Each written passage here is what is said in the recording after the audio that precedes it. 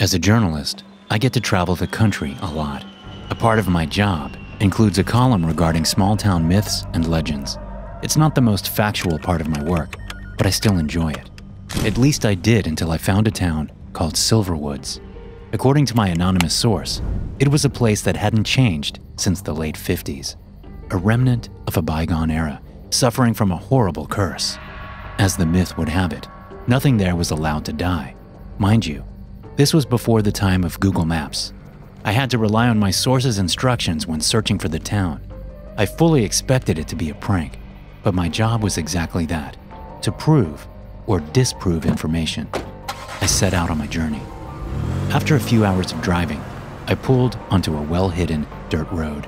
It had been poorly maintained, and it would take me another three hours before I even found a hint of civilization. An old wooden sign, Silverwoods. Turn around now, it read. In the distance, I saw what looked like an old farming community. Just a small town with a few buildings that had partially fallen apart and trucks that had rusted beyond repair. At a first glance, it looked abandoned.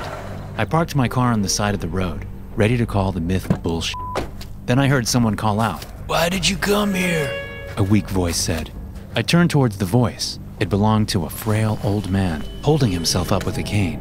He was bald, and his teeth had all but fallen out. Who are you, and why are you here? He asked. Feeling mildly uncomfortable, I introduced myself. I explained that I had been given directions by an anonymous source and that I was hunting down myths and legends. He sighed. Ignorance is bliss, but since you're here, I will give you what you came for. Only then did I notice that his leg was broken. He dragged it along as he limped around. The weirdest part was that his skin was covered in scratches, all looking fresh. Are you all right? I asked nervously. He ignored the question and simply gestured for me to follow. Are you alone here? No, there are others. On the ground, I noticed what I assumed was a dead bird. Its torso had been ripped open, exposing the organs within. It looked like a cat attacked it, yet it tried to move around, alive despite its grave injuries. The bird, it's. It's. I tried to get out. The old man glanced over at it without batting an eye. It's not allowed to die. Nothing here is allowed to die, he said. He led me inside an old house. No sooner had I taken a step through the front door before my nose was assaulted by the stench of rotting flesh. There were a dozen people littered around the room in various states of mutilation. Yet, they were all breathing, living with impossible injuries. The myth had been proven true, but I couldn't believe it. We need to call for help, I said as I looked at a guy whose hands had no skin left on them. It would only make things worse, the old man said. I already had my phone out, ready to dial 911, but out in the middle of nowhere, I didn't have a single bar of signal to help me. Sit down. Let's talk. In shock at the sight, I couldn't find the words to argue. You came here to learn the history of Silverwoods, and I'm going to tell you, he said. I sat down and looked at all the suffering people around me. Most of them were too wounded to speak a single word, only letting out groans of agony where they sat. Every single injury looked fresh. It looked like not a single day had passed since acquiring them. Since our town was founded in 1911, we've been a regular farming community. A small town that hardly ever saw any visitors. Most of us were born and raised here. So, on the rare occasion that someone passed through, it was a big deal, a cause for celebration. The man took a pause and glanced at his broken leg. Then, in 1956, a man arrived in Silverwoods. With his fancy clothes and expensive car, he starkly contrasted our modest surroundings. He didn't visit for business, nor did he look to settle down in the region. All he wanted was to spend a year with us. At the end of his visit, he promised us a gift never to be forgotten. As he finished the sentence, I heard faint screams coming from outside. They sounded horribly hoarse and emitted a clear message of agony. The man never said much. He just observed us as we went about our days, never shying away from lending a helping hand. He was polite, helpful, and within a month, we'd already accepted him as a part of the community. Still, He always wore that damn suit and never seemed affected by anything around him. No matter the situation, he was calm and looked in pristine shape. The screams got louder. Amid them, I could hear faint begs for mercy. Then, once his year in Silverwoods had ended, he asked us a simple question. What is it? I asked. Do you want to live forever? He paused and sighed. The screams in the background felt ever more present, as if they knew I was there. At first, we laughed at the suggestion. Death wasn't an enemy, but we didn't hold it as a friend either. After a lengthy discussion, it all came down to a vote. I guess the outcome is clear. I stepped over to the window and tried to figure out where the screaming was coming from. I wanted to run, but something deep inside me kept me from doing so. I pitied the people of Silverwoods, and I wanted to help them. So, you'll live forever? He nodded. He promised us that our bodies wouldn't age. Alas, without time affecting our bodies, we lost the ability to feel hunger, thirst, and the need for sleep. Our bodies can't be killed by any injuries, disease, nor destruction, but we can also never heal. Every injury we sustain, no matter how minor or severe it is, stays with us until the end of time. That is our curse. What about the people screaming? I asked. He sighed. It's coming from the barn. That's where we keep the people that want it out. Out? What do you mean? Some people got the idea that they could elude our curse by destroying their own hearts. Others attempted to crush their heads, but they were all wrong. They can't die. They're not allowed to. How can I help you? Is there any way to stop this? I asked. Then he laughed. It wasn't a cheerful laugh, but one filled with malice. Stop it! We don't want it to stop, he said. Ten years ago, that same man returned to our town. He hadn't aged a day and still smiled cheerfully as he greeted us. He offered us death, release from our horrific lives. Why didn't you accept it? He paused, his smile vanishing from his face. Because he told us what happens to us after we die. And I can promise you, it's a far darker fate than the one we've been condemned to. My friends and I used to wander into the dark woods at night, wielding little more than our flashlights and overactive imaginations. It was the surge of adrenaline we needed, gained from harmless, non existent horror. Lucky for us, there was a forest bordering our neighborhood. It was full of ancient trees that creaked in the wind. Our parents had often warned us about entering the woods, claiming the trees would fall due to the weakest gust of wind. Of course, their warnings fell on deaf ears. We were young and felt invincible. Though we pretended to be brave, we usually didn't get far into the darkness of the woods before cowering in fear. Each time, we'd mark on a tree how far we traveled before giving up. And each time we set out on a new adventure, we promised each other to break the record. Our last journey occurred on the 29th of October, 2012. Liam and Frank were my best friends. Together, we ventured deeper into the woods than we ever had before. Liam being a year older, always pretended to have all the experience in the world. He'd hide in the bushes a few yards ahead and jump out in pathetic attempts at scaring us. Before long, we reached our furthest previous mark. It read the 9th of April 2012.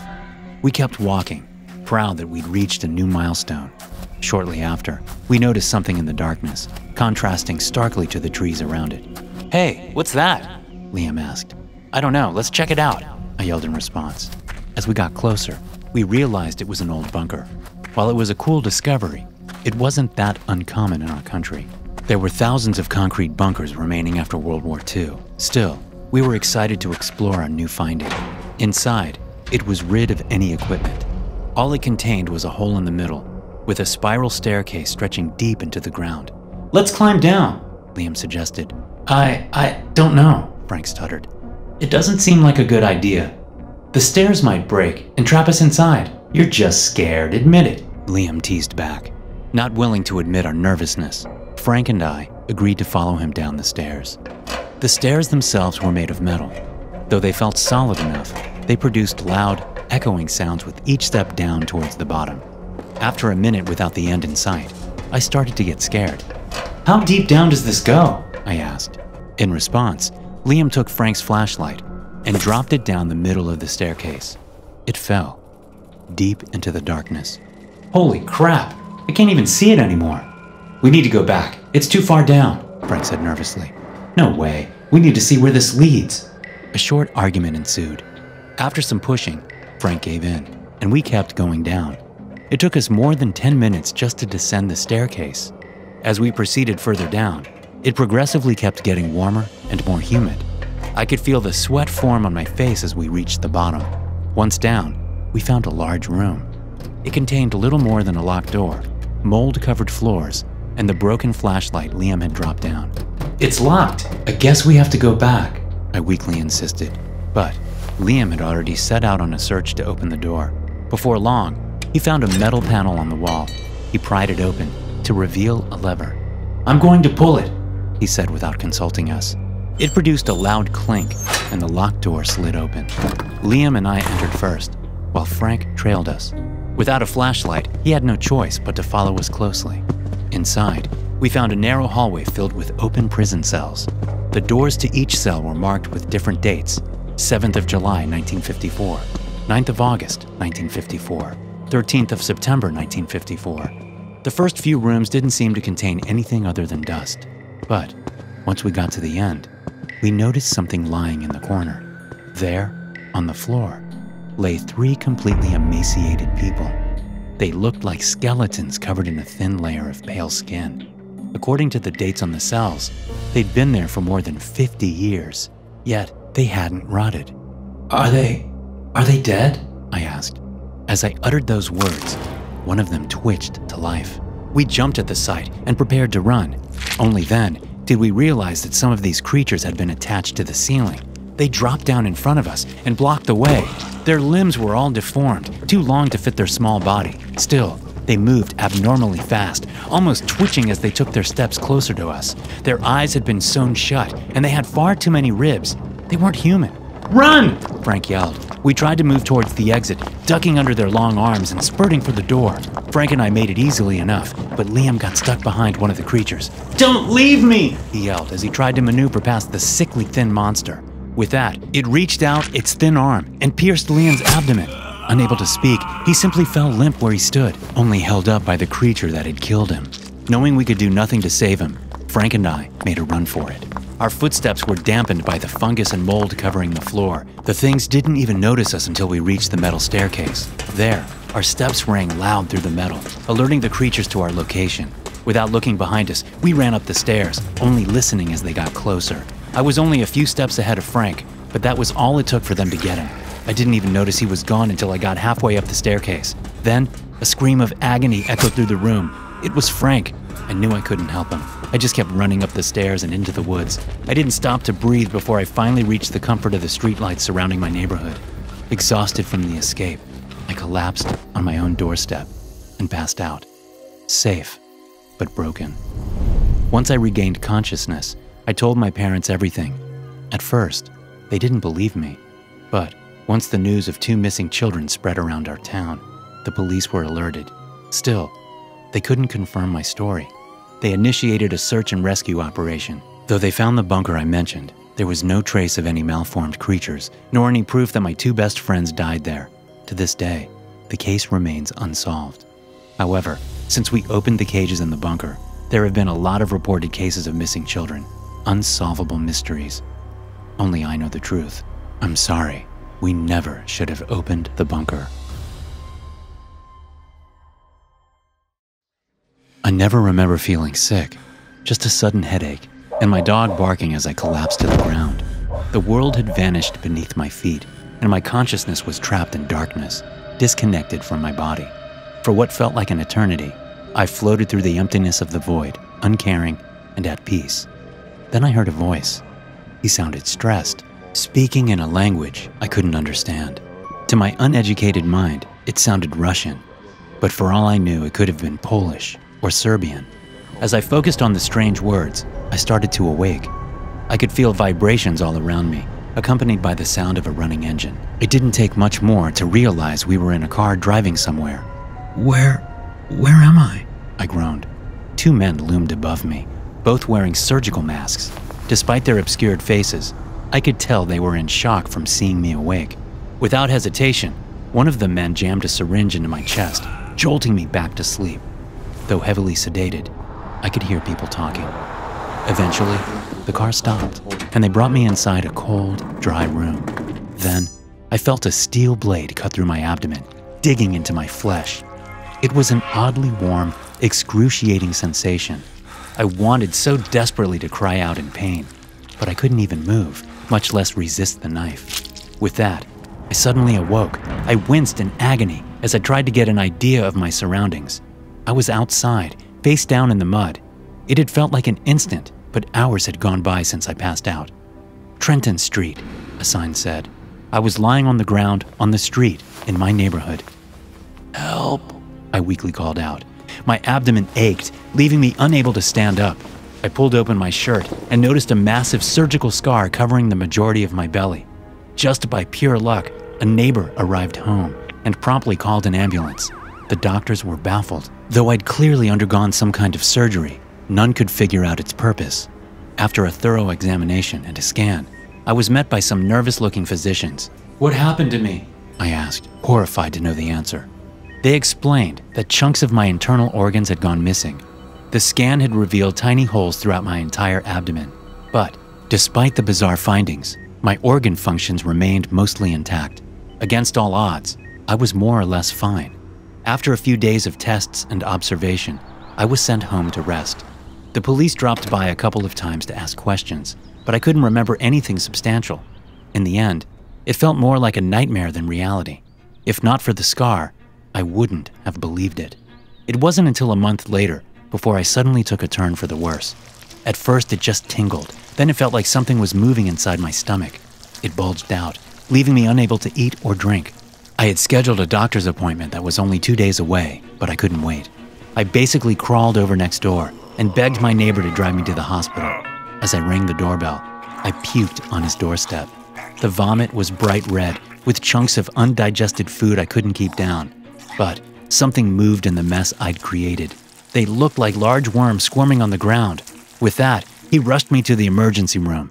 On the way, I noticed a bulge appearing on my arm. Just like the worms in my vomit, it squirmed around, digging its way under my skin. Before long, it burst out, falling onto my chest. Several other bulges appeared on my limbs and abdomen. I was delirious from the pain. Rather than being afraid, I just felt guilty about messing up my neighbor's car. We quickly reached the hospital. My neighbor grabbed me and basically carried me in through the front door. One of the worms bit him in the process, causing him to drop me to the floor. Luckily, there were doctors and nurses there ready to assist. They brought me inside and immediately prepared me for surgery. Unfortunately, it didn't take long before they realized I was a lost cause. Hundreds of worms had made their home inside my body cavities, feasting on my internal organs. It has been five hours since I arrived at the hospital. The doctors promised to keep me comfortable while I await my inevitable demise. Before the night ends, I'll be dead. Little is known about the worms that are eating my guts, but apparently, I'm not the first victim. The first worm needs to be planted into someone, but each subsequent generation spreads through bites, injecting their larvae into the bloodstream. Because of their slow development, it's hard to diagnose infected individuals until it's too late. Hopefully, they can contain the situation. After all, I haven't been around many people lately. Only my neighbor as he drove me to the hospital. They didn't bite him, did they? I'm too tired to remember. It's getting hard to think. I guess this is it for me. If you get bitten, please seek help immediately. Thanks for watching. Be sure to subscribe and smash that like button to get notified every time I upload a new video. You can also check out some more of my animated horror stories right here.